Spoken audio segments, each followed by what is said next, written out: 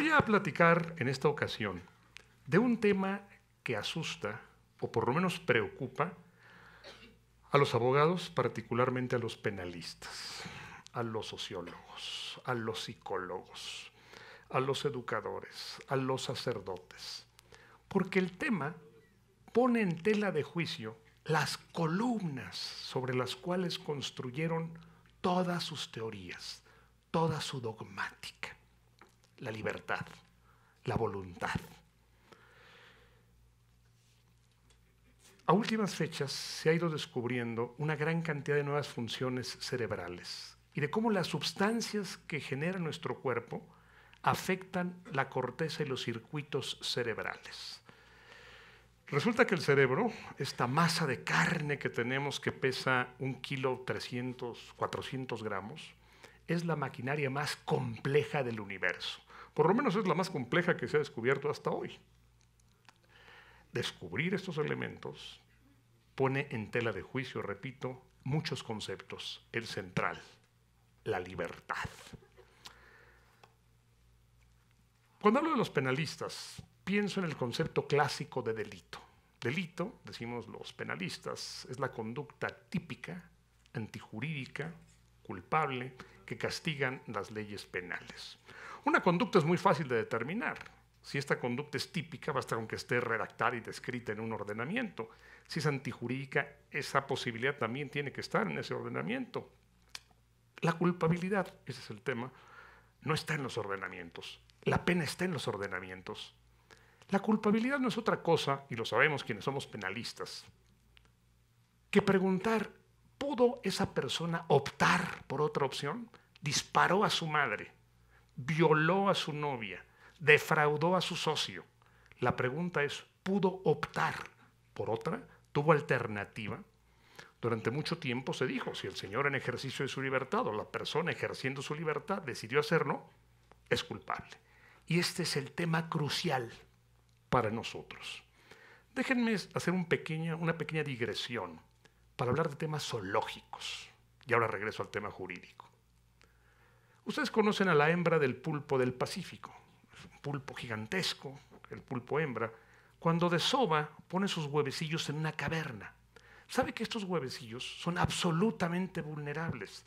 Que hay decenas de depredadores deseosos de comerse estos huevecillos. Y el pulpo hembra guarda custodia en la puerta de esta cueva, en la entrada a la cueva, hasta que empiezan a nacer los pulpitos. En el esfuerzo se muere de inanición, porque no come en ese tiempo. Se muere hasta que salen los pequeños pulpos. Yo les pregunto, ¿podemos hablar de abnegación maternal? Pienso en otro ejemplo, el cuclillo.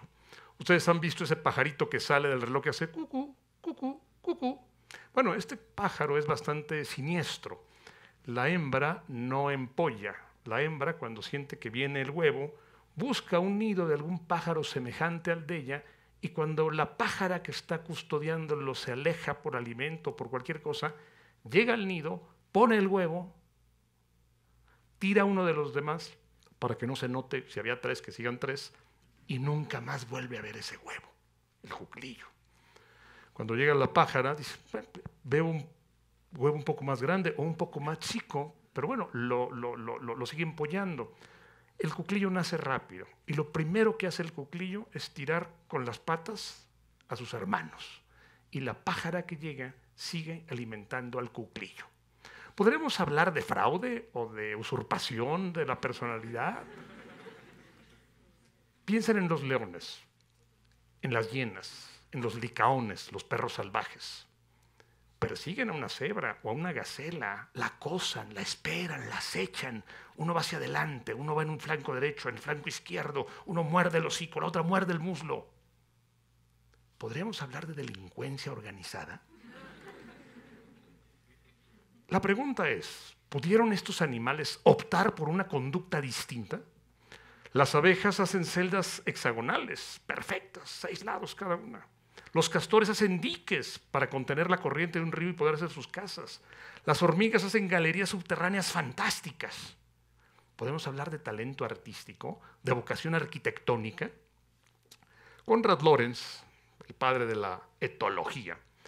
que ganó el premio Nobel en, 1983, dice, bueno, esto es instinto, ya viene marcado eso en estos animales.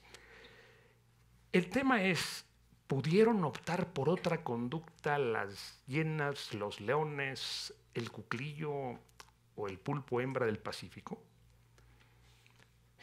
Déjenme ponerles un ejemplo. Imagínense un hombre que enamora a una joven, le dice, te amo, muero por ti, tiene dos hijos con ella, y luego le dice, ¿sabes qué? Ya no te quiero, perdóname, ya no puedo estar contigo ni con estos niños que no quiero. Oye, pero te comprometiste, ya no quiero estar. Y se va con otra, la enamora y tiene otros dos hijos con ella. Y al cabo de un tiempo dice, ¿sabes qué? Ya no quiero estar contigo, apareció una mujer en mi vida que creo que es la correcta. ¿Qué piensan ustedes de este hombre? es un tipo infiel, es un tipo sin valores, es un tipo miserable. Y alguien diría, bueno, quizá no pudo optar por otra conducta. no, no, no, perdóneme. Lo de los animales es muy distinto a los hombres. Los hombres tenemos razón, los hombres optamos, decidimos. ¿De veras?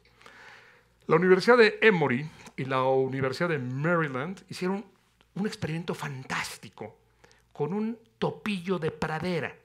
Este topillo de, pradera tiene una hormona que ha modificado sus circuitos cerebrales y es uno de los animales monógamos por excelencia. Un topillo de pradera jamás cambia de pareja. En comparación con los ratones de montaña. El ratón de montaña no tiene oxitocina ni vasopresina, sino en muy bajas cantidades. Son los nombres de estas sustancias. Y hay un, ejemplo, probablemente lo pueden ustedes ver en, en las redes, en que está en un terrario el topillo de pradera y el ratón de montaña con su respectiva prole y su pareja.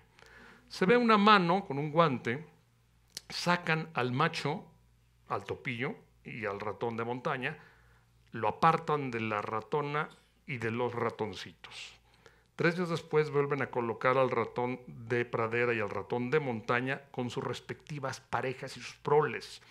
En el caso del ratón de pradera, la ratona y los ratoncitos corren a frotarse los hocicos, a frotarse la piel. En nuestra narrativa sería, papá, qué bueno que llegaste, estábamos preocupados por ti. En el caso del ratón de montaña, hay una absoluta e inquietante indiferencia. La ratona voltea, los ratoncitos lo ven y nadie interactúa, nadie hace nada. ¿Qué podríamos decir? Les faltaron valores a estos ratones de montaña no tuvieron, eh, no tuvieron una capacidad de amar, no entendieron ni leyeron los clásicos, ni tuvieron una madre que los quisiera. ¿Podemos decir eso? Piensen, por ejemplo, en nuestras preferencias sexuales.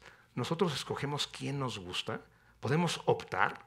Piensen incluso en extremos. Cuando un hombre dice, me gusta esa mujer, no otra, esa, me vuelve loco.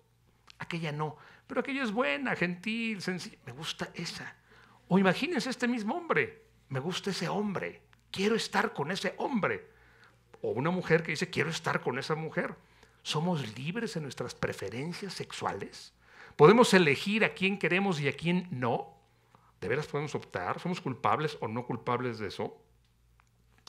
¿Se podría castigar a una persona por tener cáncer o por tener diabetes? Y aquí entramos ya al tema importante. La gente dice, ojo, no es las sustancias, es el medio el que nos determina, dicen muchos sociólogos. Y existe la epigenética. La epigenética es lo que va más allá de nuestros genes. Y les pongo un ejemplo, el cortisol.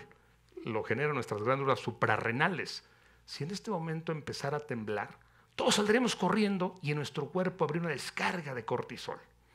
Al cabo de un tiempo, el cortisol se elimina Piensen en un niño que todos los días genera cortisol, porque todos los días llega su padre ebrio a golpearlo a él, a su madre y a sus hermanos. Ese cortisol no se elimina tan fácil y va aniquilando la dopamina, la serotonina, la oxitocina, la vasopresina y los hace niños profundamente depresivos. el medio ambiente influye, pero influye haciendo que generemos ciertas sustancias de nuestro propio cuerpo. Nunca he creído que la prisión sea una solución importante. Me parece que a prisión deben ir muy pocas personas. Creo que las medidas alternas son las más interesantes. Y en muchos casos aplican estas medidas alternas. Pero pensemos en los casos graves. ¿Qué pasa con un sujeto como el que hace unas semanas mató a 17 de sus compañeros y maestros de la escuela. ¿Qué pasa con el que el año pasado asesinó a más de 50 personas y dejó heridas a cientos con un arma de repetición en Las Vegas? ¿Qué hacemos con ellos? Y la pregunta es, ¿pudieron optar por otra conducta? Muchos abogados para defender a su cliente dicen, no, no pudieron optar por otra conducta. Estaba determinado. Yo no lo creo. Yo pienso que el hecho de que tengamos ciertas sustancias o no tengamos ciertas sustancias no nos hace inocentes. Todos tenemos vejiga, todos tenemos que orinar. Eso no justifica que orinemos aquí. Eso no justifica que orinemos en un restaurante. Tenemos que estar preparados socialmente para hacerlo en los momentos adecuados. Que tengamos muy bajo, eh, muy baja dopamina, serotonina, que tengamos muy alto el cortisol o la noradrenalina, no significa que podamos matar. Lo que sí cambia, o sea, no cambiará la sanción, lo que sí va a cambiar en los próximos años, y es el gran desafío del derecho penal, es quiénes van a ser los jueces. Yo creo que ya no serán abogados, serán farmacobiólogos y serán químicos. Van a cambiar las sanciones, ya no serán 20 años o 30 años de prisión. La sanción será pónganle oxitocina, quítenle cortisol, pónganle vasopresina, suprímanle, añádanle los científicos de Emory y Maryland inyectaron a los ratones de montaña vasopresina, oxitocina. Sorpresa, los hicieron fieles. O fieles es la, es la, palabra que entendemos. Algunas dirán de aquí es lo que habría que inyectar a algunas de nuestras parejas. Pero más allá, más allá, de la, más allá de la, de la broma, el tema es qué va a pasar en lo futuro con el derecho penal porque esto cambiaría toda la visión del castigo, toda la visión de los derechos humanos. No se trata de hacer algo novedoso, se trata de construir sobre lo que tenemos. Cuando un juez dice usted va 10 años a prisión, está suspendiendo los derechos humanos. Cuando un juez diga usted va a tener que ser inyectado con esto y con aquello, estará suspendiendo los derechos humanos. Y los jueces, repito, tendrán un perfil completamente distinto al que nosotros conocemos hoy. La gente dice, bueno, el fin de la pena es reinsertar. Antes era redactar, ahora es reinsertar. Así sí los vamos a reinsertar. Señor, usted mató a su madre, oxitocina, le quitamos, le metemos, puede salir. Y entonces la gente va a decir, oye, espéreme, el señor mató a mi hijo, violó a mi hija, el señor no puede salir. Y nos vamos a dar cuenta si de veras el fin de la pena es reinsertar o es la respuesta que da la sociedad, o si es un reproche que hace la sociedad por lo que hiciste. Y va a cambiar esto, y va a cambiar enormemente. Algo sí les puedo decir. Cuando nuestros nietos tengan nuestra edad y vean nuestras cartas, nuestros libros, nuestras películas, van a decir, oye abuelo, oye abuela, qué mundo tan feo era el que vivías. Había prisiones, ahora ya no hay prisiones. Así como nos reímos de las prácticas médicas cuando se hacían sangrías, o ponían sanguijuelas, y nos reímos, y eso, ¿cómo iban a acabar con una epilepsia con sanguijuelas? Así se van a reír cuando ven nuestras prisiones y el estado pavoroso que tenemos. La química, la biología y particularmente las neurociencias cambiarán completamente este panorama. La buena noticia es que tenemos muchas más preguntas que respuestas en este momento. Asustan, dije al principio, aterran, debía haber dicho, porque implican la libertad, el determinismo, visiones antiguas, visiones en que transforman ese mundo feliz del que hablaba Aldous Huxley. Lo único que no podemos hacer es ignorar lo que viene hacia adelante. Muchas gracias.